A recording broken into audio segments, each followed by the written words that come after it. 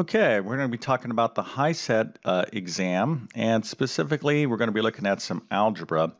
And one of um, the topics when you study algebra that you're definitely going to want to know for the HiSET is this idea of graphing lines or linear equations. So this is just going to be a general review. Um, uh, definitely, I will not substitute this video for everything you need to know. So just want to caution you. But we're going to go over some big ideas that uh, that you need to know for graphing lines, and I'll give you some other suggestions uh, ending in this video about how to really get deeper into this topic. But actually, let me just do this uh, right now.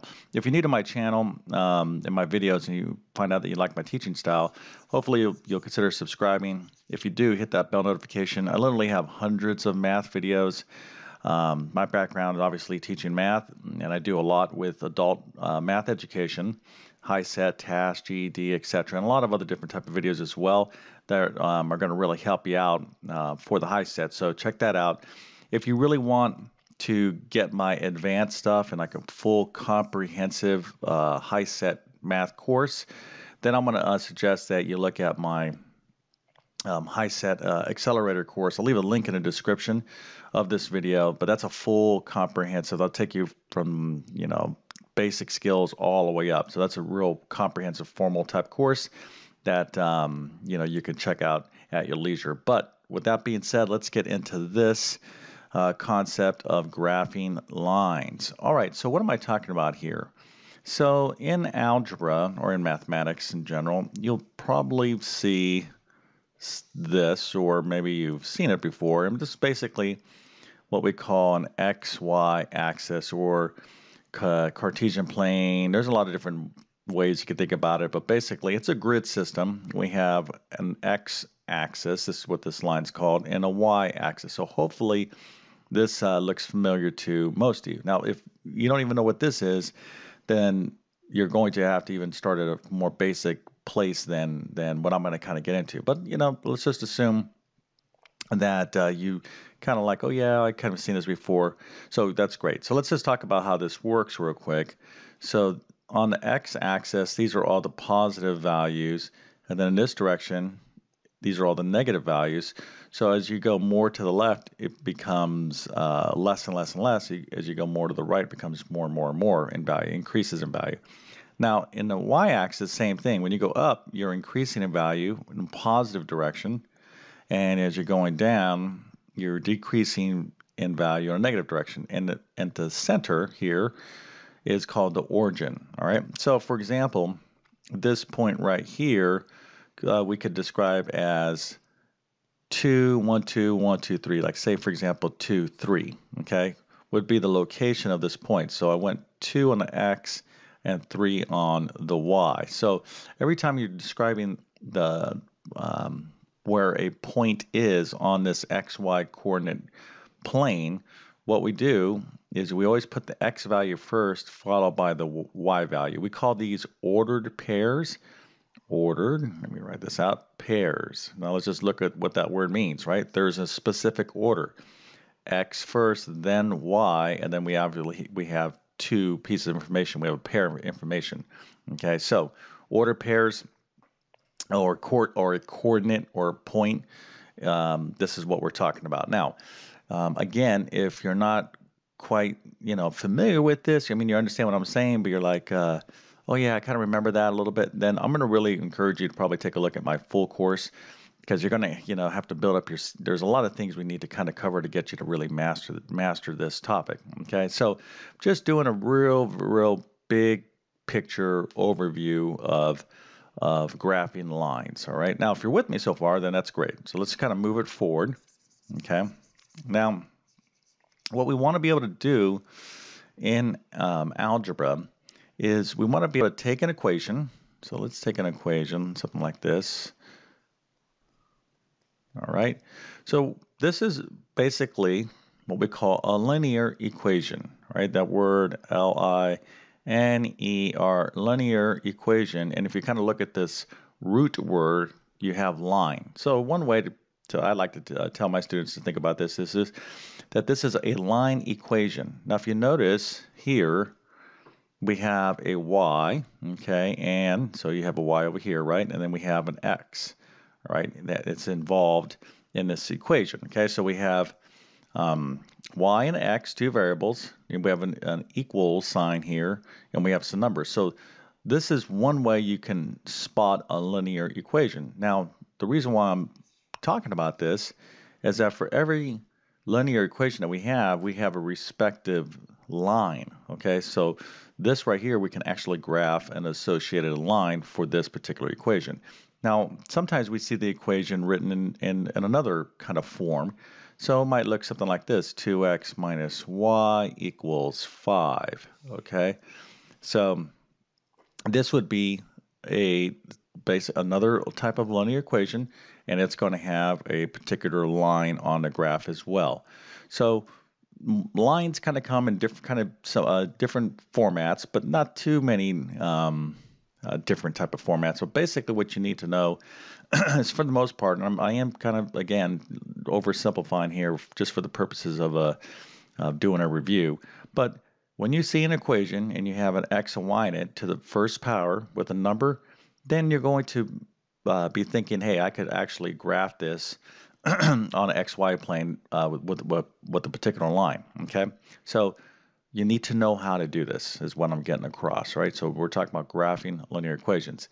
Now, an associated topic with this, I don't want to get too far ahead of myself, but let's say I have a line here, right? And let's say there's two points on the line. Let's call this the point, let's make something up here, negative 10, negative 3. Maybe this point is 2, 6. So I have two points on this line. Okay, so here's a line, and I know there's two, these two particular points are on this line. Okay, now remember, there's any number of points that are on this line, but I just happen to know that these two points are on this line. Another thing that you're going to want to know how to do, and I'm not going to cover it in this video, but I just want to bring it up because it is an associated topic, is hey, I have my line, I have some points, I would like to know the equation, the linear equation that goes with this line. Okay, so I'm, I give you the line, all right, and I want you to figure out what the linear equation is. So this is what we call writing an equation of a line or finding the equation of a line. So that's I'm not, I'm not going to talk about that, but I want to bring this up because sometimes students confuse this. These are two separate topics. Okay, what we're going to be doing is doing this. Okay, I'm going to give you, let's kind of erase all of this. I'm going to give you a, a linear equation and I want you to graph the line. Okay, so I'm going to give you the equation, you give me the line. The other process, the other um, question that uh, is for another video is here's the line, you give me the equation. Okay, that actually is a little bit more involved, but um, again, I wanted to just cover that because students sometimes confuse the two in terms of uh, the processes. All right, so let's get into this now. So here is your linear equation. Now, you have some options, okay, on uh, how to graph any linear equation. And uh, as far as uh, uh, mathematics goes, you actually can graph anything using this one particular technique. Okay, so I'm going to basically give you two main techniques that you're going to need to know how to graph basic lines in algebra. Okay, for the HiSET. The first is a table. All right, now a table works for anything. I can give you any kind of mathematical equation and you can use a table of values. All right, so what that looks like is the following. Okay, we have a little x, we have a little y. Okay, this is a table. All right, this is how I can kind of construct one. And what we can do is we could put in any values we'd like for the x. Okay, so I'm going to use three simple values. Let's call this 0, 1, and 2. All right, so I make a, a table here, okay, an XY table, and I can put in any values I want for the X. Now you can make up harder values. I could put in negative 10, I could put in negative 3.2. As long as you have three separate X values, and they don't even have to be three, they actually, you can actually get away with two, okay, values, but we want to at least do three or four, right? But I'm just, you know, giving you some idea. But if I said pick three numbers to work with, in math, anytime you're allowed to choose, always uh, selected the easiest numbers. And what are the easiest numbers to work with? Zero. I love zero. Zero is a great number to work with. Uh, okay, if you can't have a zero, pick one. One is obviously a super easy number to work with, and then you just move up the uh, ladder there and pick two. So zero, one, two. This will uh, serve our purposes. Okay, so let's see how a table of value works. All right, so what we're going to do for a table is we need to complete the table. I need to get given the x values here. Okay, we're going to plug them and plug them in where it says x and that is going to help us get the respective y values. And I'll show you, I'll show you what we're going to do with this in a second. Okay, so let me erase this here. Got some room to look at this. So the first technique is the table. All right, so this is how it works. So when x is 0, we want to know what y is. So I'm going to plug in a 0. I'm going to replace that x with a 0. So let's actually do that down here. So when y equals 2 times x, but I'm going to let x equal to 0. That's what this means when you have a 0 underneath this column. So I put a 0 plus 5, right? Because this was y equals 2x plus 5. So this is y equals 2x plus 5. But for right now, I'm going to let x equal to 0. That's what this means when you have this 0 underneath the x uh, column here in this table. So now I'm just going to do the math. What's 2 times 0? 0, right? So y is going to be equal to 0 plus 5 or 5. So when x was 0, y turned out to be 5. So I need to fill out my table. When x is 0, y is 5. Now what does that mean?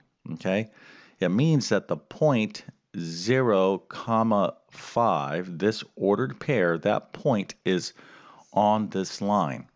All right, so I can go to 0. Let's go 0, 5. So it's going to be 1, 2, 3, 4, 5. Ah, that's it. Say right here. I mean, I'm just kind of, um, this is not the most accurate uh, grid. I have one on my screen here, but let's just, you'll, you'll see how this works out. So I have 0, 5 right there, okay? That means this point is on this line. Well, that's great. I need at least two points, right, to form, to be able to sketch the line. So let's go get another point. Okay, now if you understand this, maybe you want to go ahead and actually do this on your own, okay? So you can do, you could get the points for one and two. So let's go ahead and figure it out when x is one. So it's going to be two times what? 1, okay, because we're going to let x equal to 1 plus 5, right? So when I do that, when x is 1, okay, y turns out to be what? 2 times 1 is 2 plus 5, y is equal to 7. All right, so when x is 1, y is 7, so I have the point 1 comma 7. So now I can go over here, 1, 7 is like up here, all right? Now, for all intended pur uh, purposes, I have enough to sketch my line. Right? This basically is it, right? So the line is going to go through those two points. That's why I need at least two points. Now, but why would you want to do another point? You're like, well, I'm done. I got the line. Okay, I graphed the line to this equation. Yes, technically, but here's the deal. You always want to do at least one other point to make sure that you didn't mess up on one of these other points. In other words, if uh, let's say you did your third point and it turned out to be over here, there's a problem, right? So your line could either be this way or this way. All the points should line up. So if you're if you do another point, it's a it's like a check. You're just making sure you're validating, you're verifying that everything's you know good to go. So two points is not enough. Three or four points is is, is better. All right, so let's do this last point here, and hopefully it all lines up. So we're going to do the same thing. This time we're going to let x equal to 2, so it's going to be 2 times 2 plus 5. So y equals what? 2 times 2 is 4, 4 plus 5. So y is equal to 9. So when x was 2, y turned out to be 9. So I'm going to put my little 9 here in the table. So I got 2, 9. So let's go to my little uh, uh, grid here. So I have 1, 2, and if this was 7, 8, 9. Yes, I can be right here. 2, 9, and it all lines up nice and perfect. Okay, so this is one way that you can graph anything. I would definitely encourage you to at a minimum, if you didn't know anything else, okay, for the HiSET in terms of graphing lines, make sure you know how to complete a table of values Um, and again, just pick super simple uh, uh, numbers if you're given a choice. Sometimes you're given values that are already kind of um, there for you and you have to calculate out, but this is a real basic skill. So tables work for anything in uh, mathematics. For example, if I told you to graph this right here, y equals 3x squared minus x plus 9, well, this is a quadratic, it forms something called a parabola, okay, something like this you're like, well, how can I do that? Well, even if you don't technically know how to do it, you can just fill out a bunch of table. You can make a table, just do a bunch of values, and basically it's connect the dots. I don't know if you guys remember. Probably, uh, if you're um, old enough to, where you didn't grow up constantly around video games when we had to do, when when life was much boring but i think better uh, as well we used to have those games right like connect the dots it would be like here a bunch of dots right here and you would like draw and you would be like, oh, okay, I see the the figure or whatnot. Basically, this is the idea, right? You're playing connect the dots.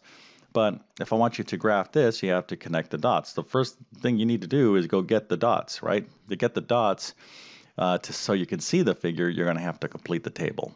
Okay, so you're going to make the table, do it in the same process um, plug in the x value, calculate it out for the y value, and then just make your dots right here, and then plot them, and then kind of connect the dots. All right, I don't want to get too far ahead of myself, but again, a table is absolutely essential. Okay, now the reason why there uh, a table is not the only way we want to graph. Okay, I'm gonna I'm gonna leave these points up here. No, I'll leave them up here. Uh, we'll get rid of the table here for a second.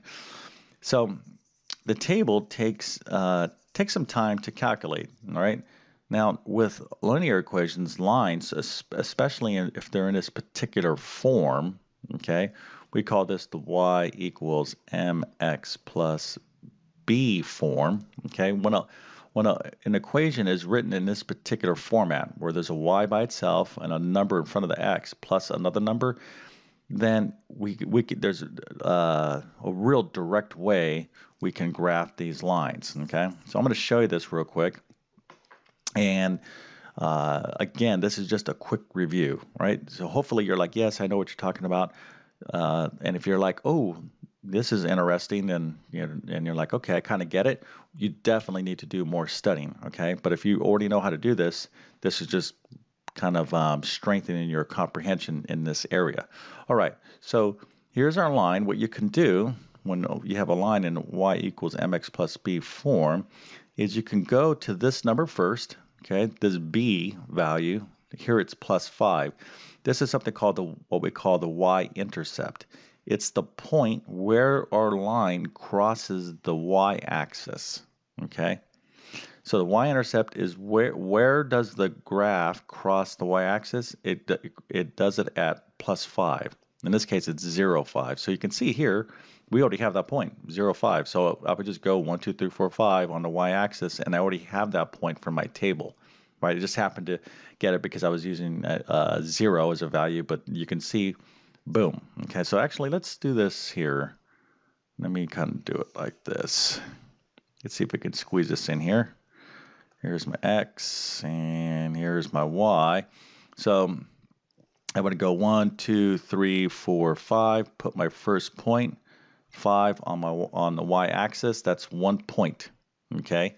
So here now, once you got that point, you go to the two. You go to the number in front of the x, which is two, and you always look at these numbers as fractions. All right. So this is two over one.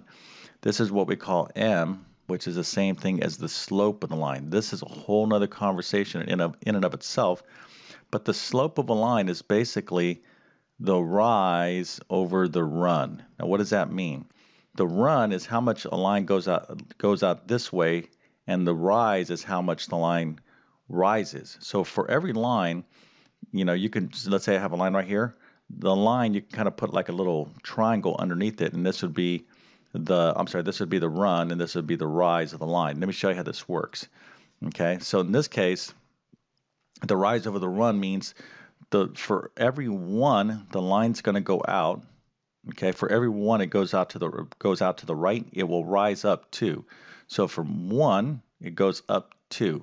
All right, now let's think about that. What coordinate is this right here? If it went out 1, okay, let's just put this right here. This 5 was what? 0, 5 is that point.